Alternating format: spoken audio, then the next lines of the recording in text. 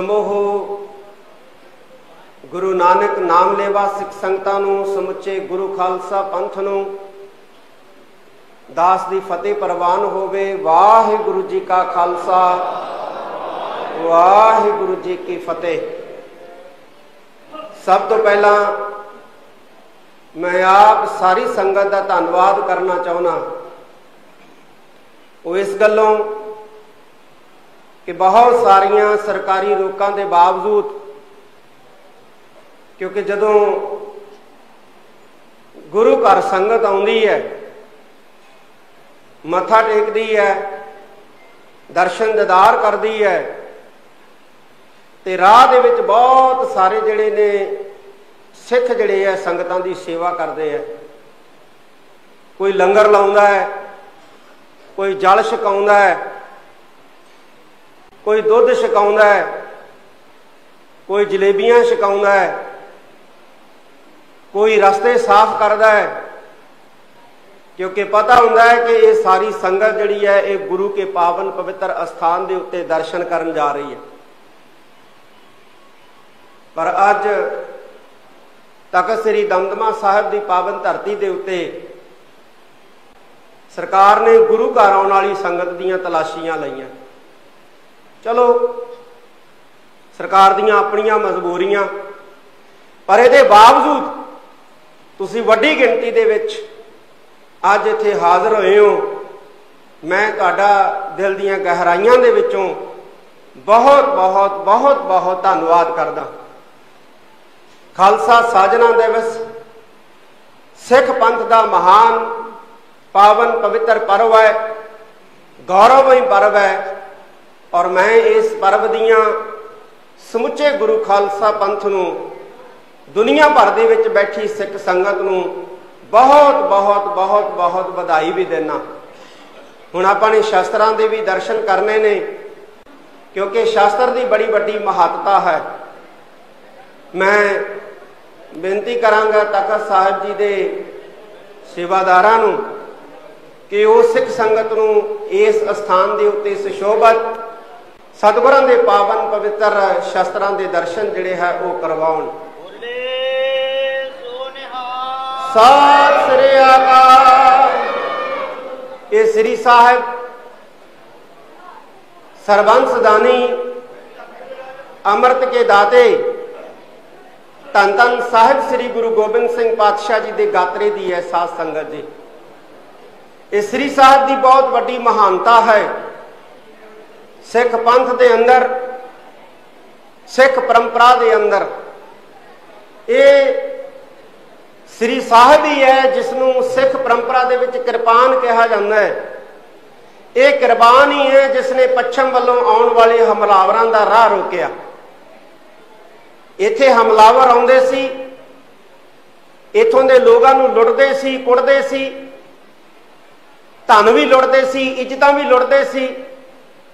ਤੇ ਬੜੇ ਆਰਾਮ ਦੇ ਨਾਲ ਆਪਣੇ ਆਪਣੇ ਮੁਲਕਾਂ ਦੇ ਵਿੱਚ ਵਾਪਸ ਚਲੇ ਜਾਂਦੇ ਸੀ। ਧੰਨ ਗੁਰੂ ਗੋਬਿੰਦ ਸਿੰਘ ਮਹਾਰਾਜ ਨੇ ਖਾਲਸੇ ਦੇ ਹੱਥ ਅੱਜ ਦੇ ਦਿਨ ਹੀ ਖੰਡੇ ਬਾੜੇ ਦੀ ਪਾਹਲ ਛਕਾ ਕੇ ਤੇ ਇਹ ਸਮਝਾ ਦਿੱਤਾ ਕਿ ਇਹ ਜਿਹੜੀ ਤਲਵਾਰ ਹੈ, ਕਿਰਪਾਨ ਹੈ, ਇਹ ਤੁਹਾਡਾ ਅੰਗ ਹੈ। ਇਹਦਾ ਸਤਕਾਰ ਵੀ ਕਰਨਾ ਹੈ, ਇਹਦੀ ਸੰਭਾਲ ਵੀ ਕਰਨੀ ਹੈ ਤੇ ਜੇ ਜ਼ੁਲਮ ਹੋ ਰਿਹਾ ਹੋਵੇ, ਜ਼ਬਰ ਹੋ ਰਿਹਾ ਹੋਵੇ ਤੇ ਉੱਥੇ ਇਸ ਦੀ ਸਹਿਯੋਗ ਵਰਤੋਂ ਵੀ ਕਰਨੀ ਹੈ। ਜਦੋਂ ਧੰਨ ਗੁਰੂ ਗੋਬਿੰਦ ਸਿੰਘ ਮਹਾਰਾਜ ਨੇ ਖਾਲਸੇ ਦੇ ਹੱਥ ਅੱਜ ਦੇ ਦਿਨ ਤੇਗ ਪਕੜਾਈ, ਤਾਂ ਖਾਲਸੇ ਨੇ ਉਹ ਮੱਲਾ ਮਾਰੀਆਂ ਕਿ 100 ਸਾਲ ਦੇ ਅੰਦਰ ਅੰਦਰ ਖਾਲਸੇ ਨੇ ਆਪਣਾ ਵਿਸ਼ਾਲ ਰਾਜ ਭਾਗ ਜਿਹੜਾ ਸੀ ਉਹ ਕਾਇਮ ਕਰ ਲਿਆ। ਅੱਜ ਇਹ ਸਾਡੀ ਪਰੰਪਰਾ ਦਾ ਹਿੱਸਾ ਹੈ ਸ੍ਰੀ ਸਾਹਿਬ। ਅੱਜ ਸਾਡੀ ਲਈ ਇਹ ਬਹੁਤ ਵੱਡਾ ਜਿਹੜਾ ਹੈ, ਇਹ ਇੱਕ ਕਕਾਰ ਵੀ ਹੈ, ਪੰਜ ਕਕਾਰਾਂ ਦੇ ਵਿੱਚੋਂ ਸ੍ਰੀ ਸਾਹਿਬ। ਪਰ ਜਿਨ੍ਹਾਂ ਨੂੰ ਨਹੀਂ ਪਤਾ, ਉਹ ਇਸ ਤਲਵਾਰ ਦੇ ਉੱਤੇ ਪਾਬੰਦੀਆਂ ਲਗਾਉਣ ਦੀ ਵੀ ਗੱਲ ਕਰਦੇ ਨੇ। ਭਾਰਤ ਦੀ ਇੱਕ ਸਟੇਟ ਦੇ ਵਿੱਚ ਕੁਝ ਸਿੱਖਾਂ ਦੇ ਉੱਤੇ ਇਸ ਕਰਕੇ ਜਿਹੜਾ ਹੈ, ਉਹ ਆਰਮਸ ਐਕਟ ਅਧੀਨ ਪਰਚੇ ਦਰਜ ਕਰ ਦਿੱਤੇ ਗਏ ਕਿ ਉਹਨਾਂ ਦੇ ਘਰੋਂ ਸ੍ਰੀ ਸਾਹਿਬ ਕਿਰਪਾਨਾਂ ਜਿਹੜੀਆਂ ਨੇ ਕੁਝ ਪ੍ਰਾਪਤ ਹੋਈਆਂ ਨੇ। ਤੇ ਸਾਡੇ ਤਾਂ ਗੁਰੂ ਗੋਬਿੰਦ ਸਿੰਘ ਮਹਾਰਾਜ ਦਾ ਆਦੇਸ਼ ਹੈ ਕਿ ਹਰ ਸਿੱਖ ਨੂੰ ਆਪਣੇ ਘਰ ਦੇ ਵਿੱਚ ਤਲਵਾਰ ਜਿਹੜੀ ਹੈ, ਕਿਰਪਾਨ ਜਿਹੜੀ ਹੈ, ਉਹ ਜ਼ਰੂਰ ਰੱਖਣੀ ਚਾਹੀਦੀ ਹੈ। ਤੇ ਅਸੀਂ ਗੁਰੂ ਗੋਬਿੰਦ ਸਿੰਘ ਮਹਾਰਾਜ ਦੇ ਬਚਨਾਂ ਤੋਂ ਮੁਨਕਰ ਕਿਵੇਂ ਹੋ ਸਕਦੇ ਹਾਂ? ਪਰ ਮੈਂ ਨਾਲ ਇਹ ਵੀ ਕਹਾਂਗਾ ਕਿ ਸ੍ਰੀ ਗੁਰੂ ਗੋਬਿੰਦ ਸਿੰਘ ਮਹਾਰਾਜ ਨੇ ਜੇ ਕਕਾਰ ਵਜੋਂ, ਜੇ ਜਰਬਰ ਜ਼ੁਲਮ ਦਾ ਟਾਕਰਾ ਕਰਨ ਦੇ ਲਈ ਇਹ ਸਾਨੂੰ ਸਿਰ ਕਿਰਪਾਨ ਦਿੱਤੀ ਹੈ, ਤੇ ਇਹਦਾ ਸਤਕਾਰ ਕਰਨਾ ਵੀ ਸਾਡਾ ਫਰਜ਼ ਹੈ। ਇਹਦਾ ਸਤਕਾਰ ਕਰਨਾ, ਇਹਦਾ ਅਦਬ ਕਰਨਾ ਜਿਹੜਾ ਹੈ, ਉਹ ਸਾਡਾ ਫਰਜ਼ ਹੈ। ਯਹੀ ਹਮਾਰਾ ਪੀਰ, ਇਹਨੂੰ ਪੀਰ ਕਿਹਾ ਪਾਤਸ਼ਾਹ ਨੇ। ਔਰ ਬਹੁਤ ਵੱਡੀ ਗੱਲ ਸਾਡੀ ਪਰੰਪਰਾ ਦੇ ਵਿੱਚੋਂ ਮਿਲਦੀ ਹੈ ਕਿ ਸ਼ਸਤਰਨ ਕੇ ਅਧੀਨ ਹੈ ਰਾਜ। ਰਾਜ ਜਿਹੜਾ ਹੈ, ਉਹ ਸ਼ਸਤਰਾਂ ਦੇ ਅਧੀਨ ਹੈ। ਅੱਜ ਦੁਨੀਆ ਦੇ ਵਿੱਚ ਉਹੀ ਮੁਲਕ ਸਭ ਤੋਂ ਵੱਧ ਤਾਕਤਵਰ ਹੈ, ਜਿਹਦੇ ਕੋਲੇ ਸਭ ਤੋਂ ਵੱਧ ਸੈਨਿਕ ਸ਼ਕਤੀ ਹੈ। ਜਿਹਦੇ ਕੋਲੇ ਸਭ ਤੋਂ ਵੱਧ ਜਿਹੜੇ ਨੇ, ਉਹ ਖਤਰਨਾਕ ਹਥਿਆਰ ਨੇ। ਉਹੀ ਮੁਲਕ ਜਿਹੜਾ ਦੁਨੀਆ ਦੇ ਵਿੱਚ ਆਪਣਾ ਦਬਦਬਾ ਜਿਹੜਾ ਹੈ, ਉਹ ਕਾਇਮ ਰੱਖਦਾ ਔਰ ਰੱਖ ਰਿਹਾ ਹੈ। ਇਸ ਕਰਕੇ ਧੰਨ ਗੁਰੂ ਗੋਬਿੰਦ ਸਿੰਘ ਮਹਾਰਾਜ ਨੇ ਤਾਂ ਖਾਲਸੇ ਦਾ ਅੰਗ ਜਿਹੜਾ ਹੈ, ਇਸ ਸ਼ਸਤਰ ਨੂੰ 300 ਸਾਲ ਤੋਂ ਵੱਧ ਸਮਾਂ ਹੋ ਗਿਆ, ਸਾਨੂੰ ਬਖਸ਼ੇ ਨੂੰ, ਸਾਨੂੰ ਬਣਾਏ ਨੂੰ।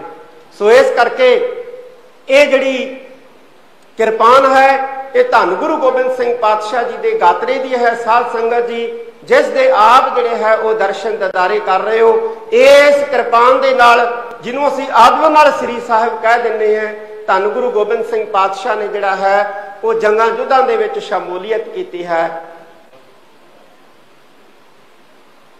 ਬੋਲੇ ਸੋ ਨਿਹਾਲ ਇਹ ਬਦੂਕ ਹੈ। ਇਸ ਅਸਥਾਨ ਦੇ ਉੱਤੇ ਧੰਨ ਗੁਰੂ ਗੋਬਿੰਦ ਸਿੰਘ ਪਾਤਸ਼ਾਹ ਜੀ ਨੂੰ ਇੱਕ ਸਿੱਖ ਨੇ ਭੇਟ ਕੀਤੀ ਸੀ। ਧੰਨ ਗੁਰੂ ਗੋਬਿੰਦ ਸਿੰਘ ਮਹਾਰਾਜ ਨੇ ਨਿਸ਼ਾਨਾ ਪਰਖਣਾ ਸੀ। ਤੇ ਉਧਰੋਂ ਇਸ ਇਲਾਕੇ ਦਾ ਹਾਕਮ ਚੌਧਰੀ ਡੱਲਾ ਉਹਦੇ ਮਨ ਦੇ ਵਿੱਚ ਪਾਤਸ਼ਾਹ ਨੇ ਅਭਿਮਾਨ ਦੇਖਿਆ, ਹੰਕਾਰ ਦੇਖਿਆ।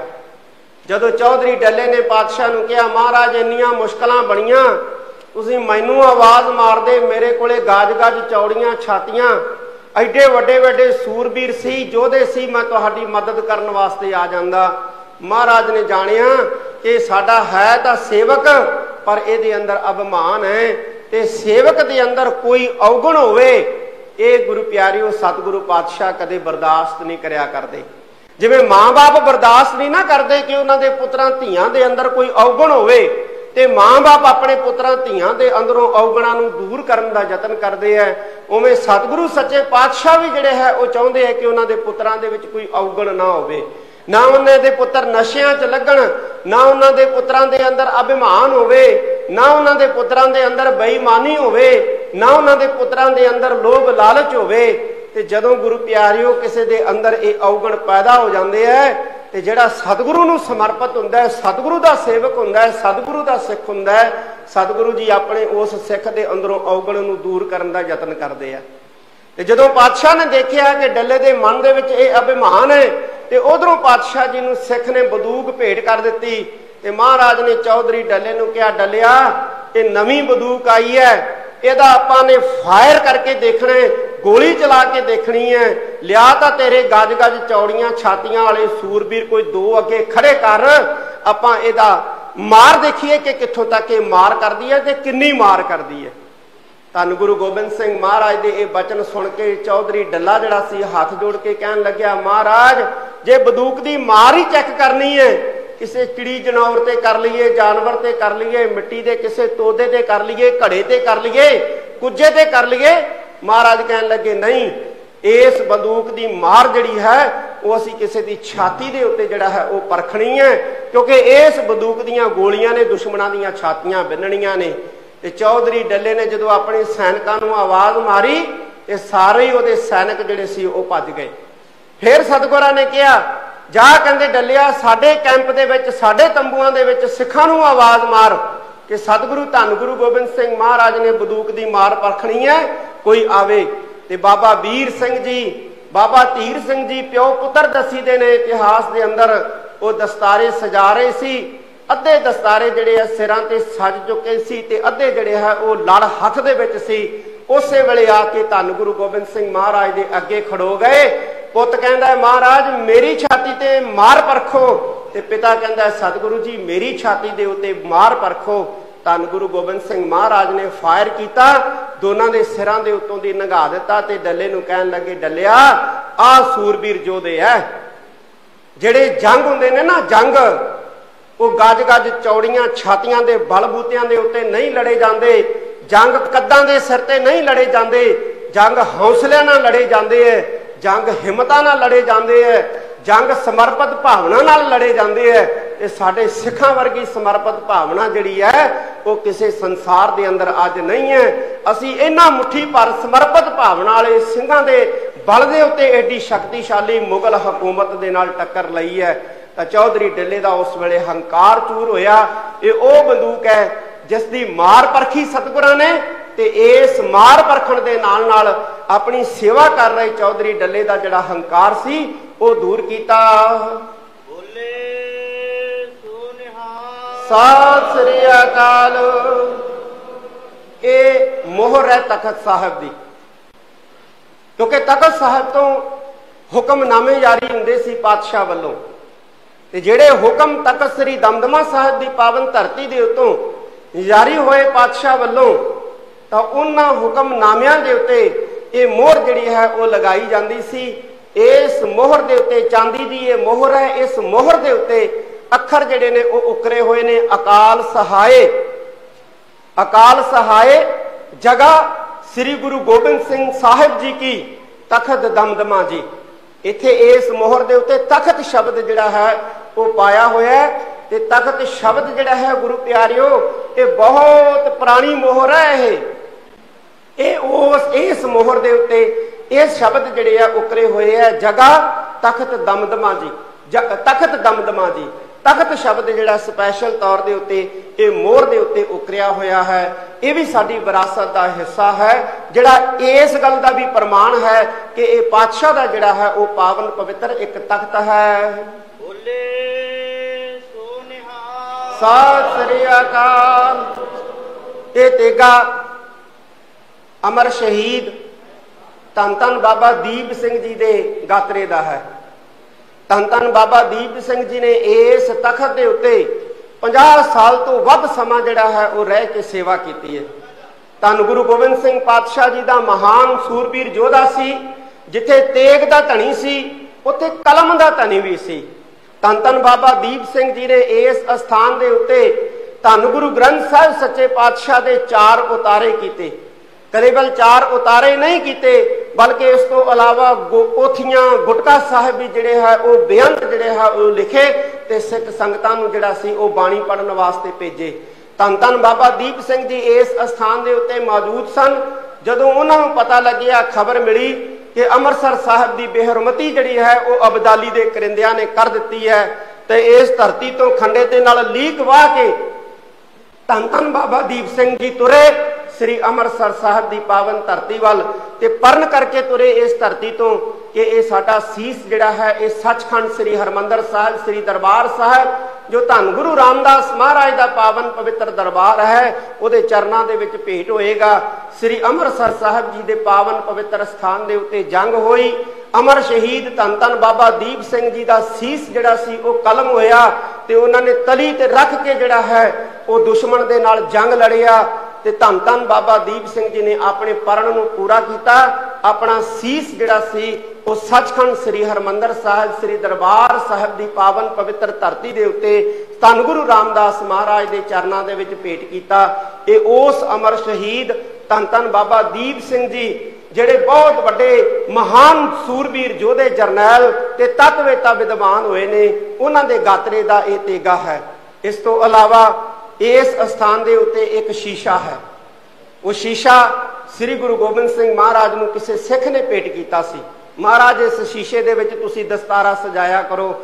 ਮਹਾਰਾਜ, ਧੰਨ ਗੁਰੂ ਗੋਬਿੰਦ ਸਿੰਘ ਮਹਾਰਾਜ ਕਹਿਣ ਲੱਗੇ, ਪਾਤਸ਼ਾਹ, ਸੇਵਕਾਂ ਨੂੰ ਕਹਿੰਦੇ, ਭਾਈ, ਰੱਖ ਦਿਓ। ਇਹ ਐਸਾ ਸ਼ੀਸ਼ਾ ਹੈ। ਕਹਿੰਦੇ, ਇੱਥੇ ਬਿੰਗੇ ਚਿਹਰਿਆਂ ਵਾਲੇ ਜਿਨ੍ਹਾਂ ਨੂੰ ਪੈਰਾਲਾਈਜ਼ ਹੋ ਜਾਂਦਾ ਹੈ, ਅਧਰੰਗ ਹੋ ਜਾਂਦਾ ਹੈ, ਉਹਨਾਂ ਦੇ ਚਿਹਰੇ ਜਿਹੜੇ ਹੈ, ਉਹ ਠੀਕ ਹੋਇਆ ਕਰਨਗੇ। ਤੇ ਅੱਜ ਵੀ ਇਹ ਕਲਾ ਵਰਤਦੀ ਹੈ, ਜਿਨ੍ਹਾਂ ਨੂੰ ਇਹ ਅਧਰੰਗ ਹੋ ਜਾਂਦਾ ਹੈ, ਜਿਨ੍ਹਾਂ ਨੂੰ ਪੈਰਾਲਾਈਜ਼ ਹੋ ਜਾਂਦਾ ਹੈ, ਉਹ ਇੱਥੇ ਆਉਂਦੇ ਆ ਤਿੰਨ ਦਿਨ।